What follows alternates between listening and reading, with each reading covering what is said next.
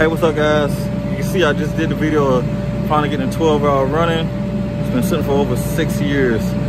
Um, what are we getting it running for? It wasn't a Suburban, trying to get in a Suburban, too much mod. So we scratched that. We got another Dodge to put in.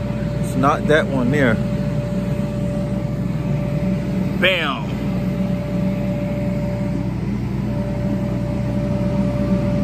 Bam. Gotta get the trying to get the footage right. Trying to get the footage right. There we go. Bam.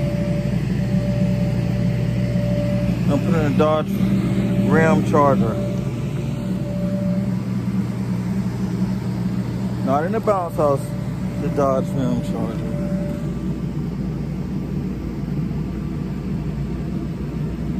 Ram Charger 150. Yes, you see the top.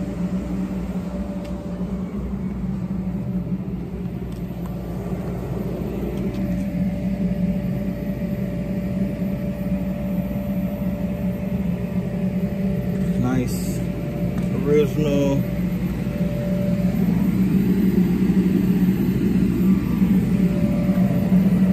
Everything's original in this bad boy. So um, soon you'll see me and Net and we'll be doing that 12 valve dance